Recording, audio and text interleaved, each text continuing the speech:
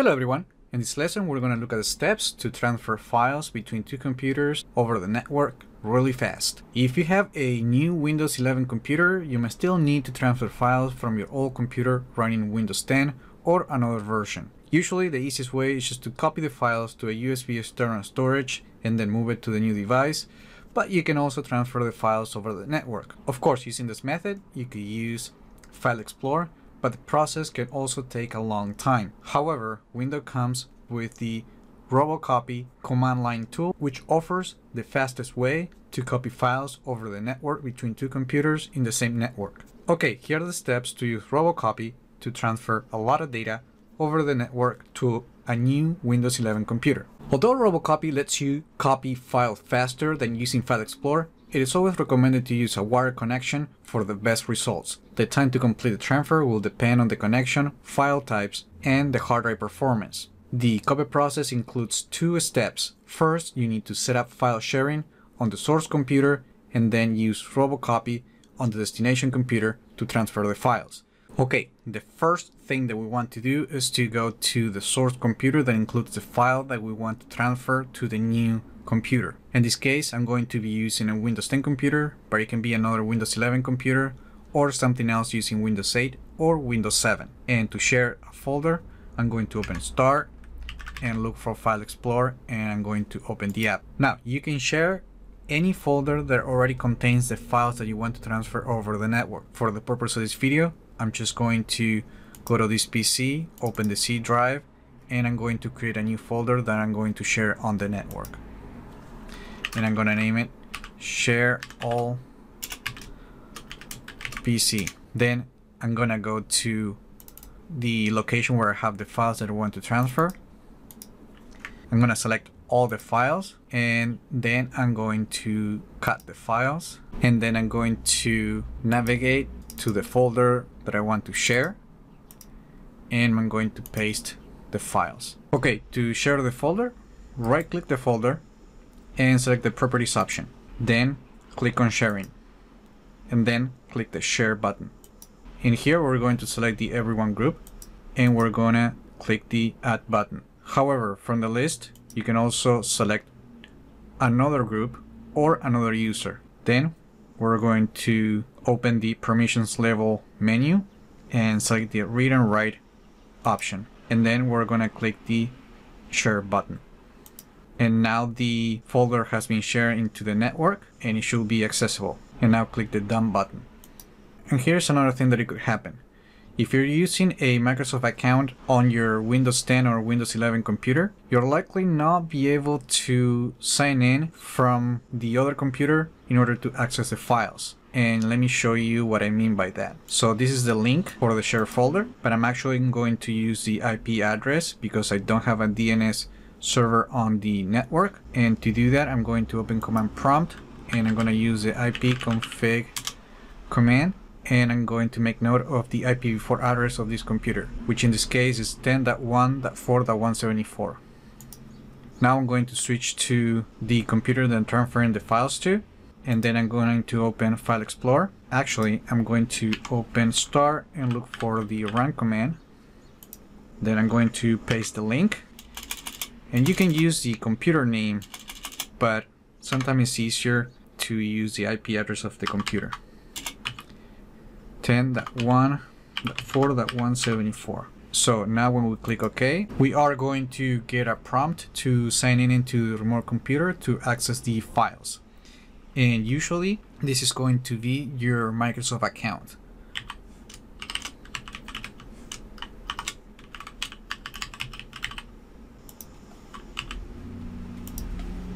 Then type the password and click OK. And as you can see, now we have access to the shared folder that includes the files that we want to transfer to the new computer. Now, here's the thing. Sometimes using your Microsoft account to sign in into the remote computer is not going to work. If that is your case, one thing you can do is to disable the password requirement on the remote computer. And to do that, we're going to switch in this case to the Windows 10 computer. And then we're going to open control panel and then we're going to go to network and internet network and sharing center and here we're going to open the change advanced sharing settings. And under all networks, use the password protected sharing settings and select the turn off password protected sharing and click the save changes. And that will make it so that when you try to access the files from the destination computer, you're not going to be required to enter a username and password. Now, if it still happens that you can connect from the remote computer, it's recommended to use a local account. If you don't have one already created, open Start and look for Settings. Open the app, go to Accounts, go to Family and Other Users, and then click the Add Someone Else to this PC option. And then click I don't have this person sign in information. Then click the Add a User without a Microsoft account. And in here, we're going to add another account.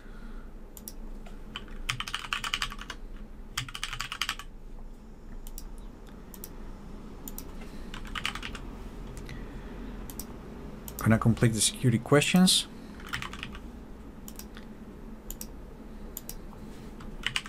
And then click the next button. Once you have the account created, you should now be able to access the files from the remote computer. And to test the new configuration, I'm going to open Start and look for Run. And then make sure to type the path for the share folder and then click OK. In the prompt, we're going to use the account that we just created.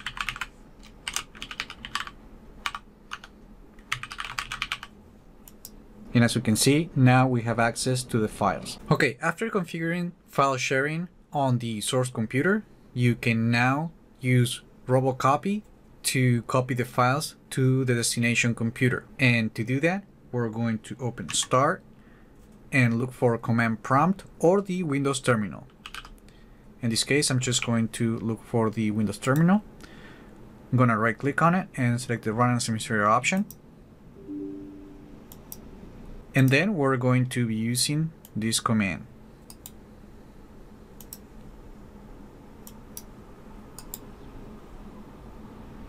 So basically the command starts invoking the uh, robocopy tool with the source path and the destination where I'm going to transfer the file to into the new computer. And then I have different switches, including E to copy subdirectories, including empty ones, Z to copy files in restartable mode, ZB uses restartable mode, but if access is denied, the tool will use the backup mode. R5 just tells the tool to retry the file five times if something is going on during the transfer, but you can change the number to something different. The same is true for W5, and it just tells the command to wait 5 seconds before retrying. TBD waits for the share name to be defined during the process. NP it's for not progress, so the tool will not display the percentage being copied. V produces a verbose output showing skip files. If you want to speed up the copy process even more, you want to skip this option because the time that it takes to print the output on the screen also delays the transfer. MT16, it's also an important option and that's the option that enables the multi-threaded copy on RoboCopy. If you don't use this option, RoboCopy will use the default of 8 which means that it will copy 8 files at a time. In this case, I'm going to use 16 in the command to try to copy 16 files at a time. You can use a higher number, but it will require more processing power and bandwidth. So make sure to, to test this number if you want to copy a large number of files. Then we have the compress option, which is a new option only available on Windows 11 that enables SMB compression. This feature allows Robocopy to request file compression if applicable as they move from the source to the destination over the network, removing the need to compress the files manually to reduce their size and then uncompress at the destination computer. The only problem is that SMB compression requires additional processing resources during the process. Also, the option is more effective on networks using 1 gigabit Ethernet or wireless connections. If you're transferring files over 100 gigabits connections, compression is not necessary and sometimes might even take more time. Just remember that this compress option only applies to files that can use compression. So if you have a zip folder or an ISO or something that is already compressed or it can be compressed, it will transfer normally over the network. So when you have the command ready, you only need to press enter to start the transfer. If you get the accessing resource directory error, that's because the command tool doesn't know how to access the network resources. And one thing you can do to fix that is to use Credential Manager to store the account information for the remote computer. And to do that, open Start and look for Credential Manager and open the app. Then go to Windows Credentials and then click on Add Windows Credential option. In here, you need to type the name of the remote computer or the IP address of that remote device. Just remember that you want to use the IP or the name that you're going to be using in the command. So I'm going to be using the IP address. So that's where I'm going to be using right here. And then you want to specify the username and password for the account in the remote computer that will access the resources. I recommend using a local account. You can try a Microsoft account, but it might or it might not work. So I'm going to type the local account of the remote computer and the password. I'm gonna click OK. And now that information has been saved on the computer and the command should now be able to access the remote files and transfer them to the new computer. Now you need to retype the command. I'm just to clear the screen and I'm going to recopy the command. And now I'm going to press enter to proceed with the transfer.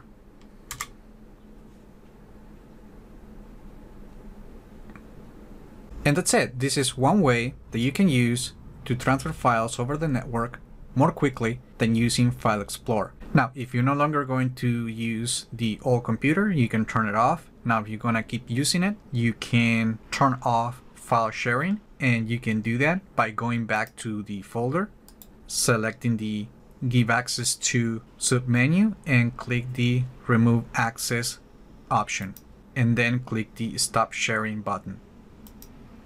Also, you want to make sure to go back to Network and Sharing Center on Control Panel and then open Change Advanced Sharing Settings. And on all networks, make sure to select the Turn on Password Protected Sharing. Finally, if you're no longer going to use that local account, click the Remove button and click the Delete Account and Data. We can also open File Explorer and then we can open the folder where we transfer all the files and we can see that all the files are now in here. Remember to like the video, leave your comments, subscribe to the channel if you haven't done that yet, and I just hope this video was informative for you and I would like to thank you for viewing.